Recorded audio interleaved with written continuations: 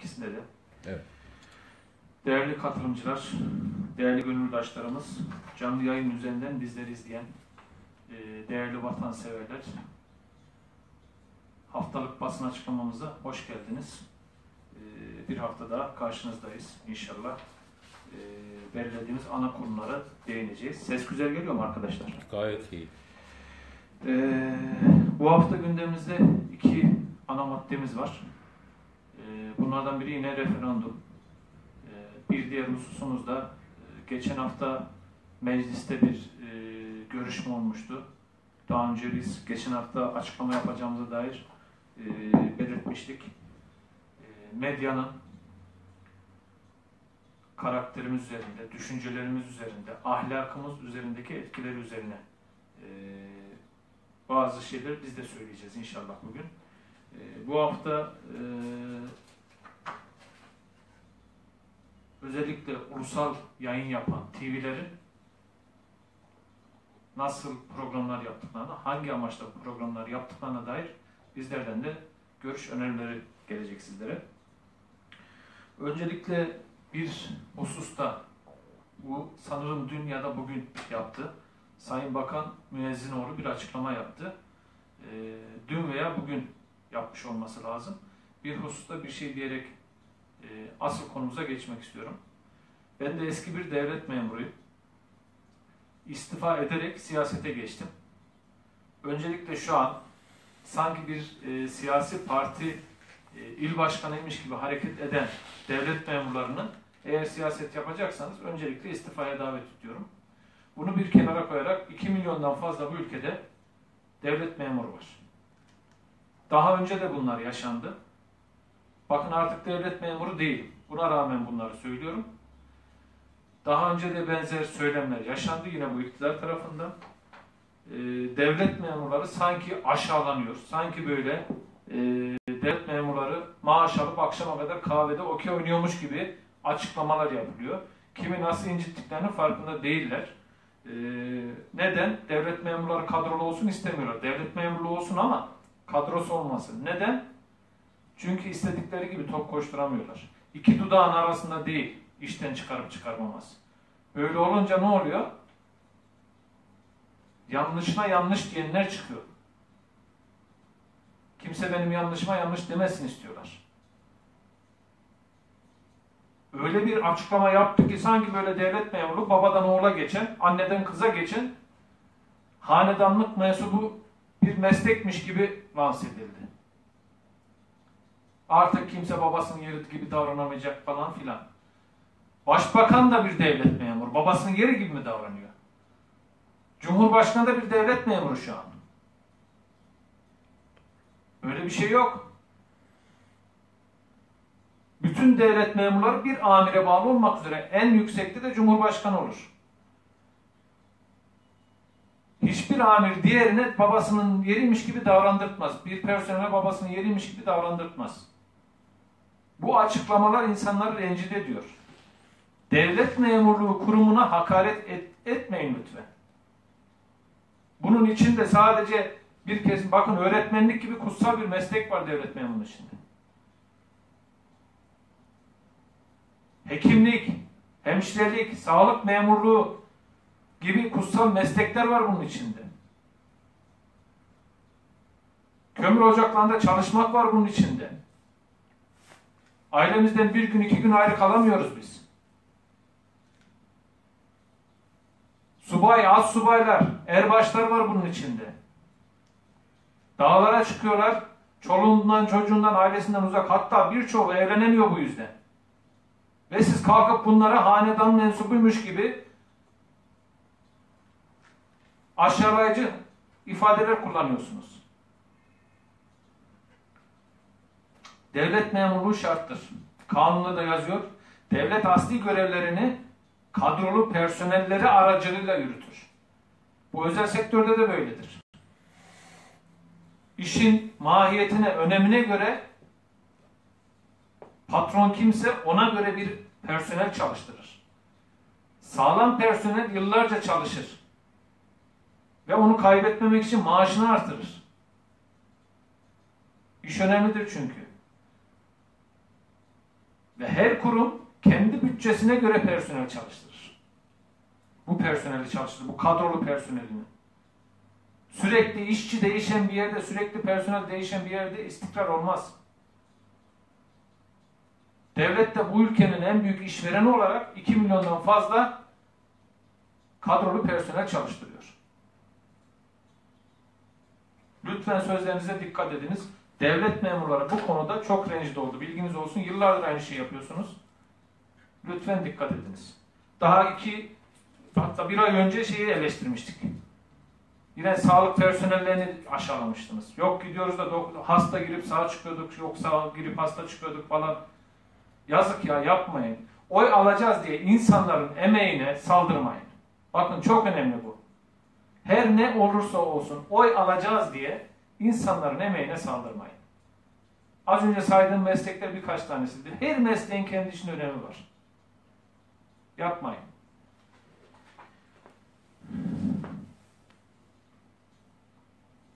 Bu hafta partimizde yaşanan birkaç e, gelişmeyi sizlere e, anlatmak isteriz. Ondan sonra da ana gündem maddelerimize geçelim. E, geçen hafta 130 tane büyükelçiliğe e, mektup yazdık, tanışma mektubu. E, sağ olsunlar bizlere dönüş yapmaya başladılar. İlk olarak pazartesi günü Sri Lanka Büyükelçiliğiyle görüştük. E, Sri Lanka, Hindistan'ın güneyinde e, bir ada ülkesi. %67'si Budist, %13'ü e, Hindu, %10'u Müslüman şeklinde gidiyor. E, bu karışık e, şey etnik köküne de yansımış orada. 2009'a kadar bir iş savaştaydılar. Kendileriyle görüştük. Sağ olsunlar güzel ağırladılar bizi. Karşılıklı görüş alışverişinde bulunduk. Neler yapabiliriz, neler karşılıklı neler, nasıl çalışmalar yapabiliriz diye. Sayın Büyükelçimiz sağ olsun e, güzel ağırladı bizi. Güzel de bir e, istişare oldu. Biz her zaman şunu diyorduk, e, iktidar olmamıza gerek yok. İktidar olmayı da beklemeyecek, beklemeyeceğiz diyorduk. Bunu da çalışmalarımıza yansıtıyoruz. E, ülkelerle, biliyorsunuz daha önce e, ülkemizdeki 42, 40 partiye pardon, e, yazı yazdık, görüşmeler yaptık, her meclisle görüşüyoruz. Keza Sendikalarımıza yazılarımızı yazdık. E, bizi takip eden e, gönüldaşlarımız biliyorlar. Şu anda büyükelçiliklere yazdık. E, iktidara geldiğimiz zaman e, illa bekleyip de hadi iktidar olalım da ondan sonra görüşelim diye bir şey yok. Biz e, bu ülkenin bir siyasi partisi olarak, önemli bir kurumu olarak bu çalışmaları şimdiden başlattık. İlk olarak da dediğim gibi Sri Lanka Büyükelçiliği görüştük. Önümüzdeki hafta başka e, büyükelçiliklerle de görüşmelerimiz var. E, biz her zaman barış dilini kullanarak güzel şeyler elde ederiz diye düşünüyoruz. Ee, Sri Lanka Büyükelçiliğinde de bunu dile getirdik. Bir savaş olması ve o savaşı bizim veya başkasının veya Amerika'nın veya e, İran'ın veya Rusya'nın, İsrail'in kazanmasının bir önemi yok. Ee, her savaş bu dünyaya biraz daha zarar veriyor. Ee, o savaşı herhangi bir kişinin kazanmasının, herhangi bir ülkenin kazanmasının gelecek nesillere bir faydası yok. En iyisi barış diliyle, insanlık diliyle e, birbirimizi anlayarak e, ilişkileri sürdürmek, büyütmek. Biz her zaman bunu zorlayacağız. Bu nedenle e, şimdiden başladık devletlerle görüşmelere. İnşallah bu şekilde de devam edeceğiz. Kavga, ili, kavga diliyle değil, diplomatik diliyle biz şimdi de sonra da gücü elimize aldığımızda da hiç kimseyi tehdit ederek veyahut da Gülhan Beyliği yaparak e, bir şeyler elde etmeyeceğiz. Zaten öyle bir şey elde edilmiyor. Şu anda ülkemizin durumu apaçık ortadadır. E, her res çektiğimiz yerden gittik. Şu an Mozambik'te falan artık ticari birliktelikler kurmaya çalışıyoruz. Arap ülkeleri kaldı elimizde. Onlar da kendi çıkarları için bize yanaşıyorlar. Ee, yoksa onlar da selam vermeyecekler. Rusya'yla dış politikamızı Rusya'ya endekslemiş durumdayız ne olduğumuzu şaşırdık. Koskoca kadim Türkiye Cumhuriyeti, Türkiye Devleti diyelim e, bu hallere düştü maalesef. E, inşallah diplomatik barış diliyle biz her şeyi çözeceğiz. Bizim zaten sloganımız da var. E, Mustafa Kemal Atatürk'ün e, sözünü slogan olarak kendimize şiar edindik. Bu yurtta sulh olmadan cihanda sulh olmayacağına biz inanıyoruz. Önce kendi içimizde sulhü sağlayacağız, ardından da dünyada sulhü sağlayacağız. Bu da ülkemizin kalkınmasına e, direkt etki edeceğine inanıyoruz. Doğru kalkınmaya. Evet, diğer taraftan bu hafta referandum kataloğumuzu hazırlamaya başladık. Ee, onu da yine çok farklı hazırlıyoruz. Alışılmış siyasi dilin dışında doğrudan e, halkımızı bilinçlendirici bir şekilde hazırlıyoruz. E, referandumda biz hayır diyoruz Can Partisi olarak ama hazırladığımız katalogda sizde hayır değil değil. Neden hayır denmeli, nasıl hayır denmeli? E, bunun seçimini biz bırakacağız evet veya hayır ortasındaki seçimi bırakacağız. Vatandaş kendi gözüyle görüp seçimini kendi yapacak. İnşallah e, bir hafta içinde e, bitirmeyi planlıyoruz. PDF olarak da herkes ulaşsın diye sadece baskı değil PDF olarak da paylaşacağız. E, herkes ister baskısını alır, isterse sosyal medyadan yayar. Biz üzerimize düşen görevi de bu şekilde yapmış olacağız. Evet, referandum hususuna gelelim doğrudan e, geri adım attılar. Geçen hafta söylemlerinden geri adım attılar. Malumunuz geçen haftaya kadar bizim biz şunu iyi biliyoruz ki Cihan Partisi olarak çok iyi takip ediyorlar bizi.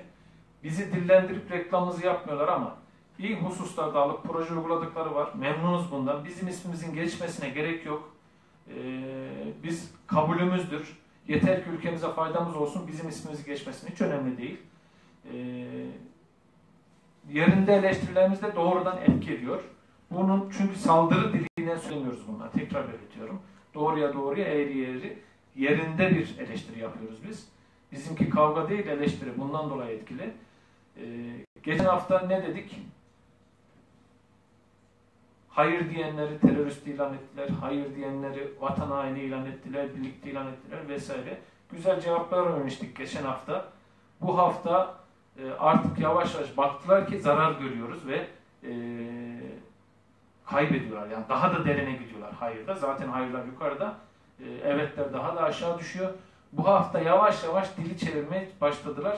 Birden tabi diyemezler bunu. Yavaş yavaş hayır diyenler de insandır, hayır diyenler de olabilir şeklinde çevirmeye başladılar. Bu biraz daha bu dillerini değiştirecekler. Çünkü saldırgan bir tutumla dile getirilen kelimelerin artık kendilerine doğrudan zarar verdiğini fark ettiler. Çok şükür. Biz şunu istiyoruz. Bu referandumdan hayır, evet çıkabilir ama özellikle Cumhurbaşkanı ve Başbakan bu ülkeyi kutuplaştırmamalı. Bir kısmını kabul edip diğer kısmını atmamalı. İnşallah e, yani düzgün bir dille birbirimizi eleştirerek, doğrularımızı ortaya koyarak, yanlışlarımızı ortaya koyarak gidelim birbirimizi seçimlerimizden dolayı cezalandırarak değil.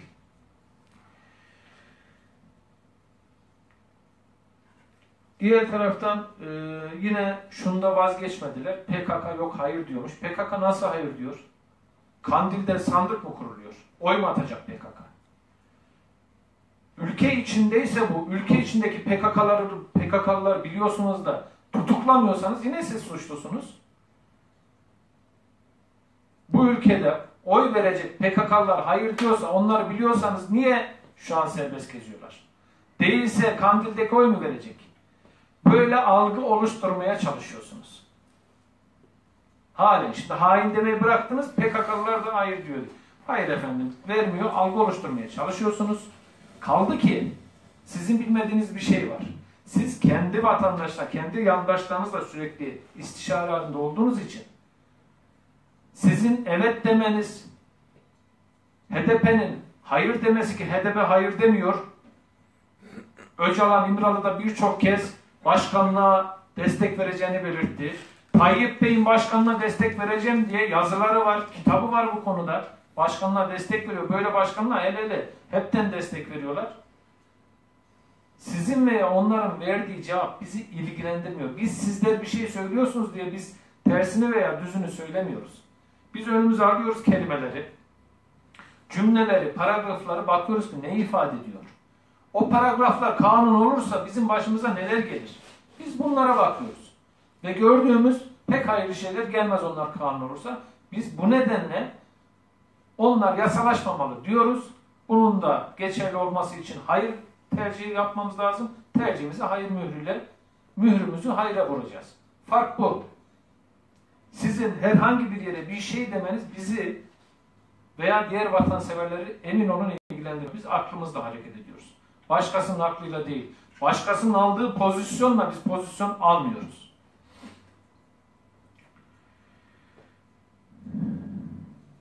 Evet, e, mitingleri yasakladınız.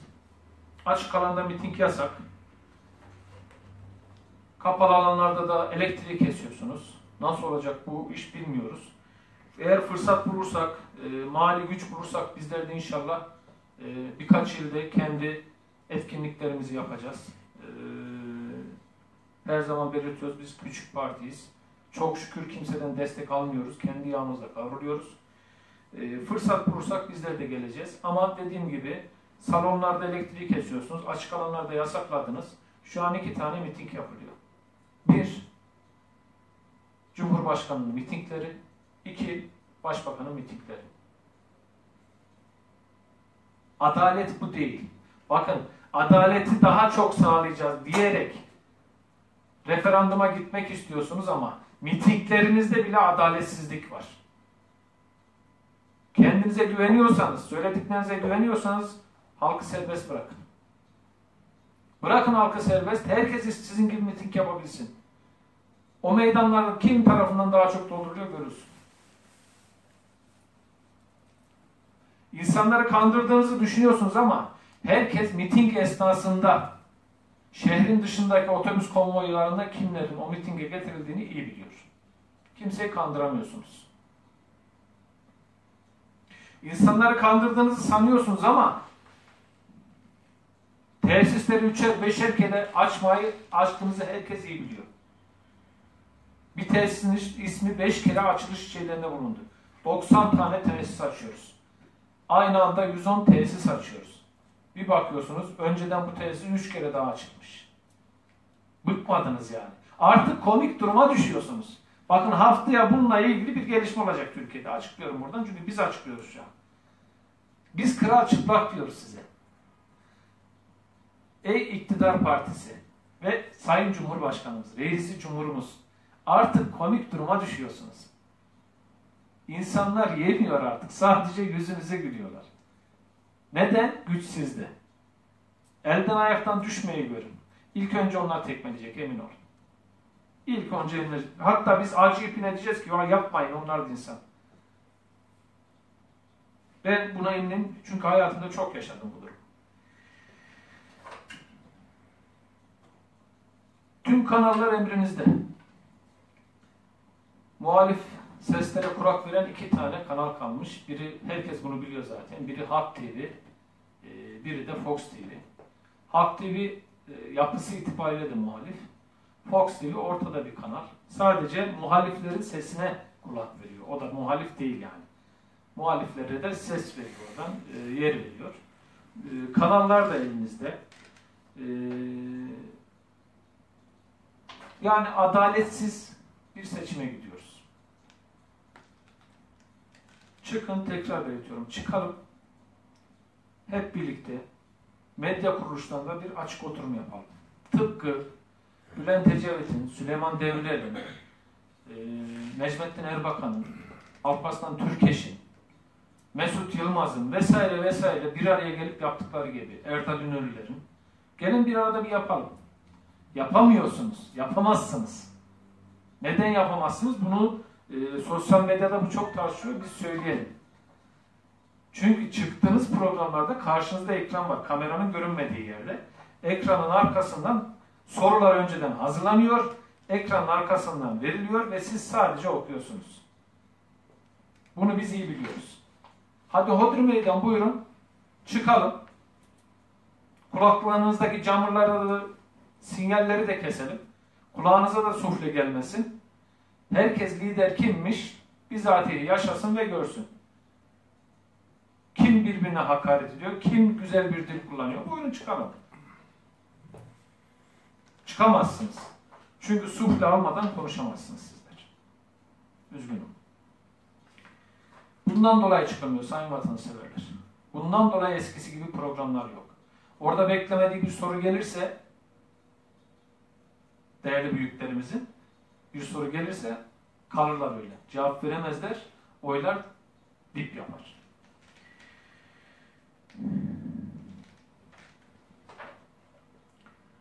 Bir başka husus, ilginç bir husus. Ee, AK Parti, MHP, CHP görüşlerini açıkladılar. Saadet Partisi açıkladılar. Hepsinin kendine ait bir bütçesi var. O bütçe kendilerine ait. Açıkladıkları görüş doğrultusunda çalışma yapabilirler.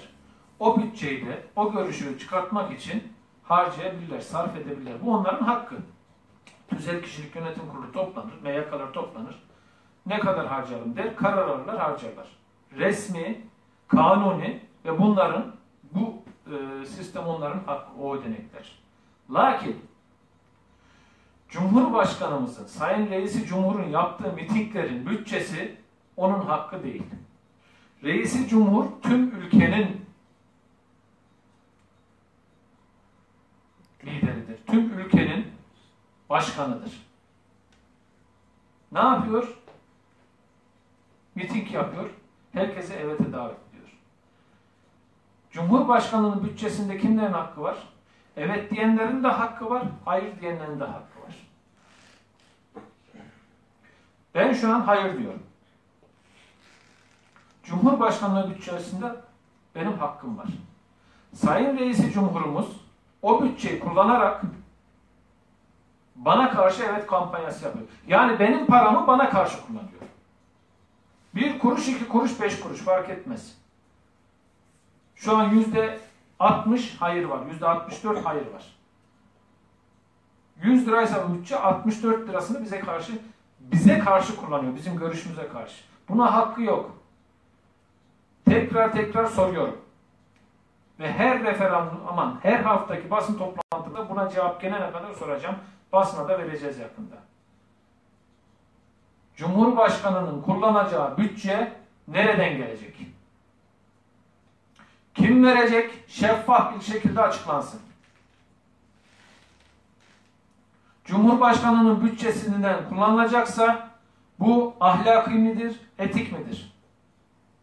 Yok eğer kullanılmayacaksa Cumhurbaşkanının bütçesini kim verecek? Şeffaf bir şekilde açıklansın lütfen. Allah bizlere uyarı üzerine uyarı yapıyor Türkiye. İnşallah alıyoruzdur bunları. Ee, şu an parlamenter sistemdeyken yani bizim gibiyken başkanlık sistemine geçen ki bizim başkanlıktan daha hafif onların yetkileri sistemine geçen iki ülkede şu an iç savaş eşine gelmiş durumdalar. Seçimi kaybeden başkan yönetimi vermemek istemedi, diretti. Şu an iç savaşın eşine geldiler. Seçimi kaybetti. Ordu ve asker, polis elinde olduğu için, silah gücü elinde olduğu için vermiyorum dedi. İç savaşın eşine geldiler şu an. Birbirlerini kırıyorlar. Bu birinci uyarı. En önemli uyarılardan biri. İkinci uyarı kardeş ülkemizden geldi. Allah oradan gönderiyor. Musibeti gözümüzün önüne koyuyor. Azerbaycan'da iki yıl önce referandum yapıldı. O referandum neticesinde verilen yetkili pardon geçen yıl referandum yapıldı. O referandum e, neticesinde yapılan e, alınan yetkiyle Azerbaycan Başkanı Aliyev şu an eşini Cumhurbaşkanı danışman olarak atadı. Yardımcısı olarak atadı. Daha ilginç olanı var. Azerbaycan bizden yine de şanslı. Neden? Orada iki tane sayı belirtilmiş. Başkan iki tane başkan yardımcısı atar demiş. Bizde sayı da yok. Değerli vatanseverler. Yani bizde eşini, kızını, eniştesini başkan olacak kişiden bahsediyorum. Sizin tahmin ettiğiniz kişiden bahsetmiyorum. O gücü eline kim alırsa alsın gözü döner. O gücün altında herkes duramaz. Eşini, kızını, akrabasını, komşusunu, çocukluk arkadaşını, sevdiği bir tane e, odacısını, istediğini, istediği kadar sayıda, bizde sayı sınırı da yok, başkan yardımcısı atayabilir. Allah bizi uyarıyor, Diyor ki alın size musibetler. Bak seçime gidiyorsunuz 16 Nisan az kaldı. Bunları görün ki ona göre oy verin. İnşallah bu uyarıları hepimiz alıyoruzdur. Bizim gibi görüyordur. Evet, medyanın ahlak bozucu özelliklerine gelelim. Geçen hafta e, bu konuda bir, e, bir önerge verildi. Lakin önerge kabul edilmedi. Nasıl edilmedi? Maalesef AK Parti'nin oylarıyla kabul edilmedi. E, ilginç bir husus. E, asıl onların hani söylemlerine göre onların sahip çıkması gereken bir önerge onların red oylarıyla reddedildi. Şimdi değerli vatanseverler, medyanın ahlak bozucu programları hususunda Rütük'e bugüne kadar 75.190 tane şikayet gitmiş. Bakın 75.190. Ve buna rağmen halen işlem yapılmıyor.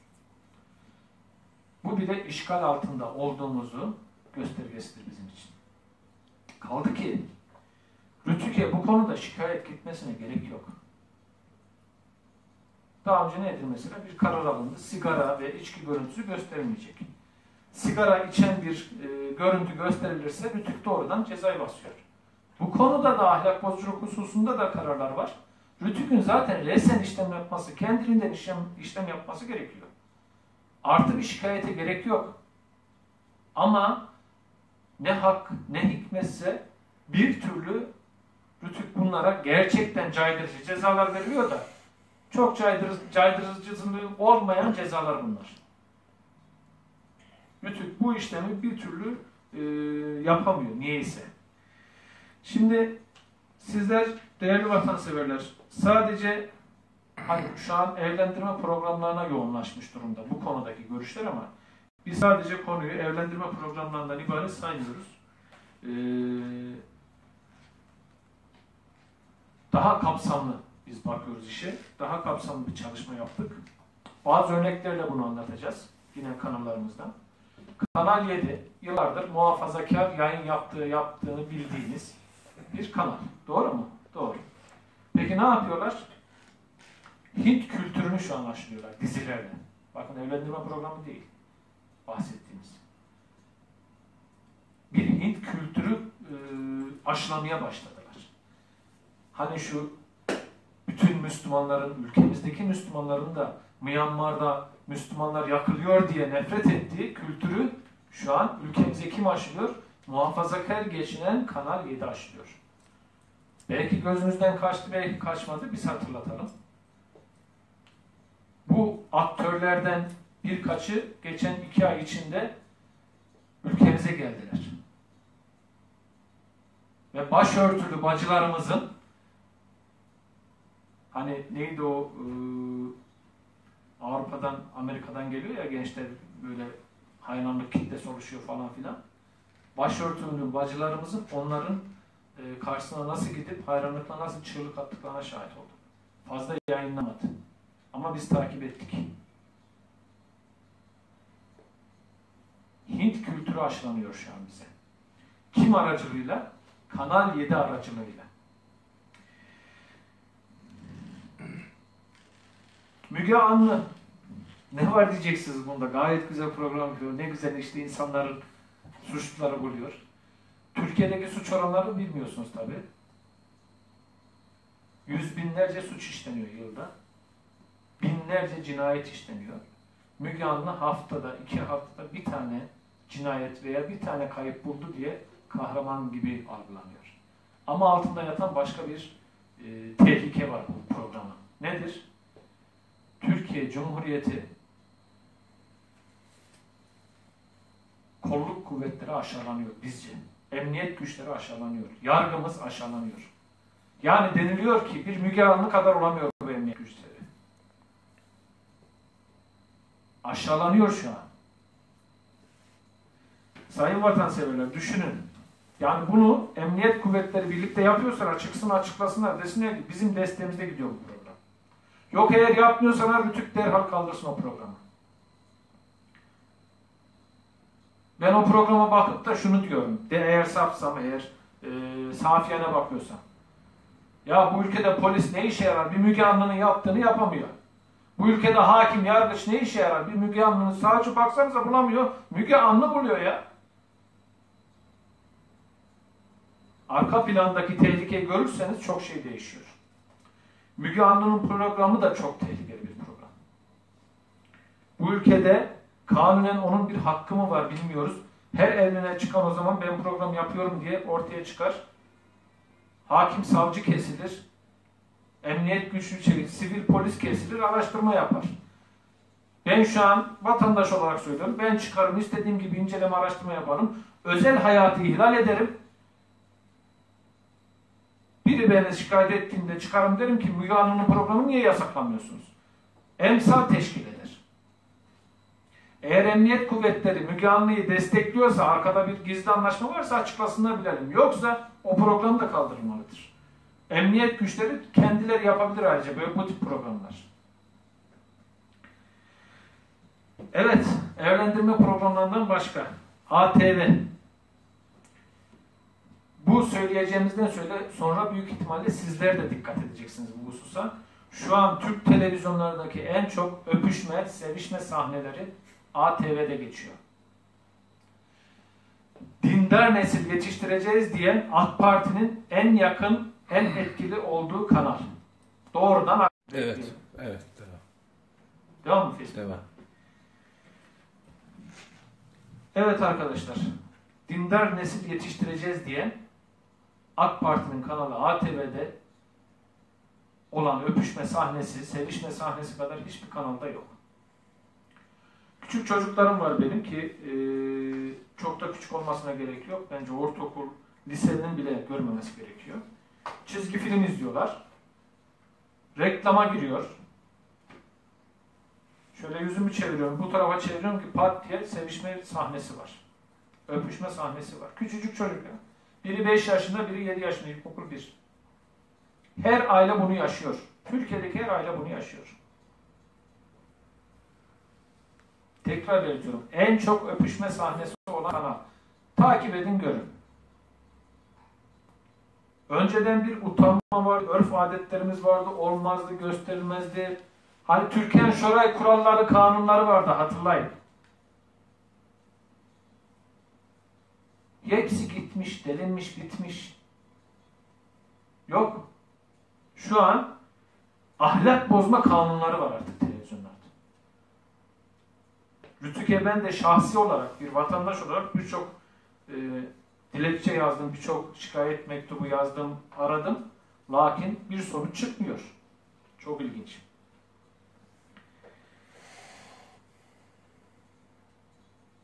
Evet, gelelim evlendirme programlarından birkaçına. Denk geldiklerimizi ben söylüyorum. Maalesef kanal değiştirirken biz de denk geliyoruz. Bu yaşımızda biz de ahlakımız bozuluyor, öyle söyleyelim. Ee, öncelikle şunu belirtelim. Banu Avar bu konuda evlendirme programları hakkında güzel bir program yapmıştı. Güzel bir video çekimi yapmıştı. Bilmeyenlere söylüyorum. YouTube'dan, Google'dan araştırıp bulabilirsiniz. Banu Avar evlendirme programları yazarsanız e, gelmişini, geçmişini, her şeyini anlatmış durumda. Onun haricinde biz de bilgilerimizden şimdi birkaç şey yansıtmaya çalışacağız. Öncelikle e, evlendirme programlarının biliniz ki bu tip programlar Amerika'da özel projeler olarak hazırlanıyor. Öyle pat diye tesadüfen gelip önümüze düşmüyorlar. Amerika'da özel hazırlanıyor. Siz şu an bir program hazırlayın, bir program içeriği hazırlayın. Kendiniz icat edin. Akışını kendiniz düşünün. Götürün kanallara satmaya çalışın. Almazlar. Avrupa'dan gelen programlar haricinde, menşeye Amerika'dan gelen programlar haricinde programlar yayınlanmıyor. Bunun bir sistemi var. Oradan gelenleri yayınlıyorlar sadece. Hatta daha ötesi bilgi yarışmalarını diğer programlara siz böyle bir oturup senaryo yazar gibi yazıp sunduğunuz zaman alınmıyor. Bu konuda net söylüyorum. Bizzat çalışmam var. 8 yıl önce 5'te 5 diye bir bilgi yarışması programı hazırladım bizzat. 5'te 5 diye. TRT'ye sundum. Diğer özel kanallara sundum. Hiçbiri kabul etmedi. Hiçbiri kabul etmedi arkadaşlar. Değerli vatanseverler. Ve hala proje bende. Bir gün inşallah uygulanacak. Ha program kötü mü değil. Benzerleri çıktı sonradan. Benzer mentalite de çıktı. Gayet başarılı oldu. Lakin benim götürdüğüm kabul edilmedi. Çünkü Türkiye'de Sanki Türkler böyle şeyler akıl edemiyormuş gibi bir durum var değil mi arkadaşlar? Sayın vatanseverler. Türkiye'de hazırlanmış veyahut da Avrupa'da da hazırlanmış programlar kabul edilmiyor. Medya çok önemli bir güç ve bunu sürekli kullanıyor Amerika. Bu programların amacı sadece Müslüman ülkeler veya Türk Türkiye için değil bunlar. Amacı bir hamle yapılacak ülkede ülkeyi zayıflatmak. Ve bir ülkeyi zayıflatmanın en önemli ayaklarından biri aile yapısını bozmaktır. Yani sadece bizim üzerimize uygulamıyorlar bunu medya aracılığıyla. Avrupa'da yeni kurulmuş ülkelere de uyguladılar. Ukrayna'ya da uyguladılar. Orta Asya'da başka ülkelere de uyguladılar. Afrika'ya da uyguladılar.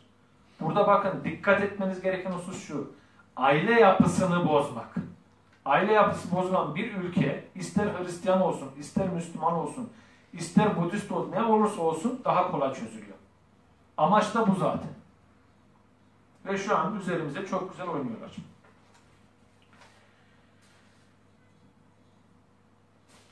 Bu programlarda, evlendirme programında, gündüzki yayınlarında özellikle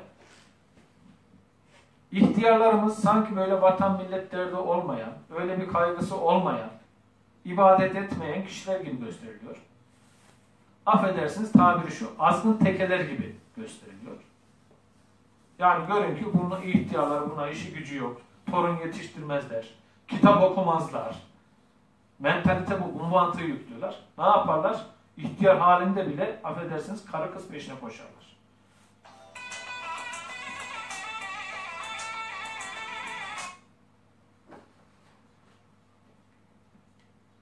Parti müziğimiz çaldı bu arada. Gençlerimizi de aynı şekilde ahlaksız gösteriyorlar. Şıp sevdi. Bir e, hercai, çok kolay seven, kolay bulan, birinden ayrılıp hemen öbürüyle buluşan. Hele bir tane programda var biz de denk geliyoruz. Kapalı bir bayan var diyor. Bir diskoda görülüyor kapalı bayan. Kapalı bayanların yaşama şekli bellidir. Bir diskoda görülüyor. Bir başka yerde görülüyor. Ee, açık açık fotoğrafları var. Saçma sapan şeyleri var. Bir haftada üç eş değiştiriliyor bu programlarda. Gibi gibi. Bunların amacı zaten dediğim gibi ahlakı bozmak, öyle göstermek. Akşamları çöp, çöp çatan programlara denk geliyoruz. Ee, bakıyorsunuz bir evden içeri birkaç tane bayan koyuyorlar, işte 7-8 tane. Aynı sayıda erkek koyuyorlar. Bunlar birbirlerini bölüşüyorlar. Ya böyle bir ahlaksızlık olabilir mi ya? Hayvanlarda bile bu yok ya. Hayvanlarda bile bu yok. Garip garip tipler, e bakıyorum benim gençliğim de bu değil yani. Gençlik diye satılan şeyler de bu değil. Hepsi dövmeli, hepsi bikinili, hepsi bilmem neli. Örnek gençlik olarak sunuluyor gençliğimizin karşısına. Kendinizi 15, 16, 17, 20'ye kadar öyle düşünün. Daha bilinciniz oturmamış.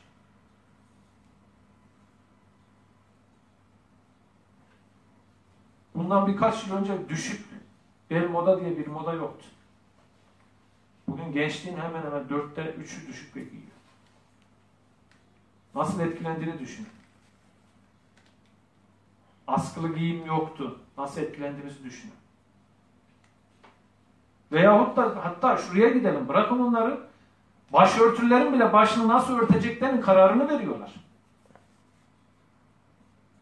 Lüks haramdır. Şu an bir başörtüsü, bir aker eşap bilmem kaç lira.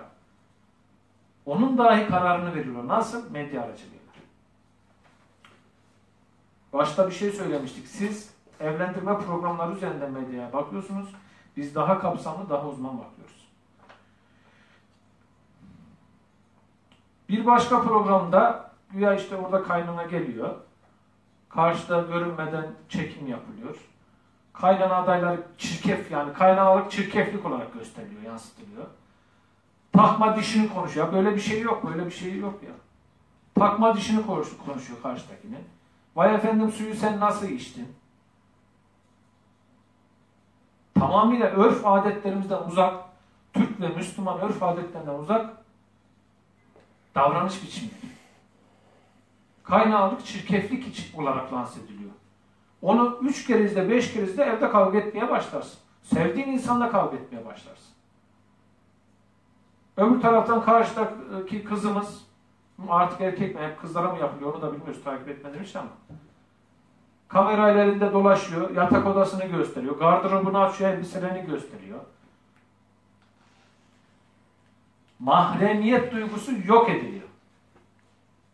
Mahremiyet duygusu yok ediliyor. Allah'ın emri peygamberin kavliyle gidip isteme duygu, isteme olgusu yok ediliyor. Bağlılık yok ediliyor. Ve sanki karşıdaki bayan bu taraftaki erkeğe muhtaçmış, mecburmuş gibi lanse ediliyor, görüntü veriliyor. Sanki düşkün, sanki bir eksiği var, gediği var, onunla evlenmek zorundaymış gibi aşağılamalara katlanılıyor.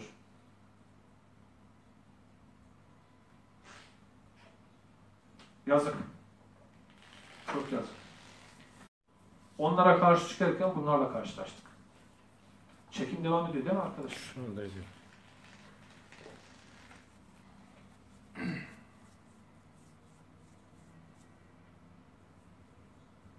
Örnek vereyim bu, bu programlarda en çok uygulanan, uygulayan kanal TV8. Değerli vatanseverler. Acun Ilıcalı'nın bir proje olduğunu, programın bir proje olduğunu herkes biliyor. Birdenbire çıktı parladı. Yani diğer e, medya patronları, diğer medya sunucuları çok mu aptaldı da böyle yükselemedi? Birdenbire pat diye fırladı gitti.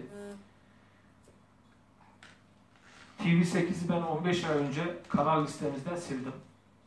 Tesadüfen dahi olsa o programlara denk gelmemek çok güzel.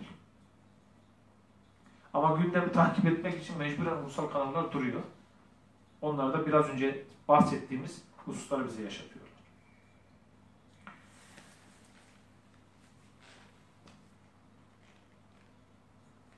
Biz bayanlarımızı değerli vatanseverler gömdük evden içeri. Kimler izliyor programları? Anneannemiz, babaannemiz, annemiz, ev kadını olan eşlerimiz, kızlarımız, çocuklarımız izliyor. Ne var? Dedikodu var, ahlaksızlık var, eş değiştirme var, o var, bu var, her şey var. Düzgün bir tane tarih programımız yok. Şöyle Türk tarihini anlatan bir programımız yok. Cuma'dan Cuma'ya dini program haricinde program yok. O da e, yeterli mi anlatılanlar? O da ayrı bir tartışma konusu. Cuma'dan Cuma'ya dini programlar, yapılan programlar haricinde program yok. Bir coğrafi bilgi programı yok. Bir gündem programı yok. Niye şu an hukukun üstünlüğü diye bir program yapılsa, o saatlerde verilse etkisiz olur mu? Olmaz. Kim bu saydığım isimler? Bayanlar, çocuklarımızı yetiştiren kişiler. Ve çocuklarımızı yetiştiren kişileri dedikodulu programlara boğduk. Çirkef programlara boğduk. Doğru düşünce çıkmaz ki çocuğa da doğru düşünce aşılasın. Bu yetişecek nesiller 20-25 yıl sonra başımıza çok büyük sorunlar açacak. Maalesef kendilerini idare edemeyecek bize de büyük sorunlar açacak. Her konuda tedbir aldığını iddia eden hükümetin bu konuda neden girişim yapmadığını anlamıyoruz. İki dudakların arasında. Anasay, anayasa metnini bile 13 günde, 12 günde geçiren bir sayısal çoğunluktan bahsediyoruz. Anayasa metnini bakın. Başkanlık istiyorlar. Bu anayasa değil. Kanun çıkar, pat diye şey çözülecek. İnşallah bizim tüzüğümüzde bu tip husus da var. Parti programımızda da var. Biz bu konuya böyle ciddi bakıyoruz. 2014'te biz bunları söyledik. Şimdi açtık altyapı, altını açtık. Söylediklerimizi tabanını açtık. İktidarımız halinde Allah'ın izniyle inşallah bugün, yarın ne zaman iktidar olursak bu konu çözüldüyse inşallah çözülür. Bugün çözülsün. Biz bunu kabul ediyoruz. Bugün çözülsün biz iktidarı alkışlayalım. Çözüldü çözüldü. Çözülmediği takdirde gerek sabah programları, gerek akşam programları, gerek dizi filmler, Bu konuların hepsinde düzgün bir çalışma yapacağız. Televizyonlarda silah var, ağlama var, vurma var. Artık güldürü programı bile yok farkındaysanız. E bu kadar silah, bu kadar tehdit, bu kadar mafya, bu kadar e, kadın dövmenin olduğu bir toplumdan ne bekliyorsunuz siz? Ne bekliyorsunuz? İşte kadın cinayetleri arttı. Silah taşımalar arttı. Havaya sıkmalar arttı. Tehditler arttı. İnşallah bu kapsamlı bakışı hiçbir zaman değiştirmeden iktidarın ucundan tuttuğumuz an var olan bütün sorunları aynı bu şekilde kapsamlı bakarak çözeceğiz. Hepinize teşekkür ediyorum dinlediğiniz için. Hayırlı akşamlar diliyorum.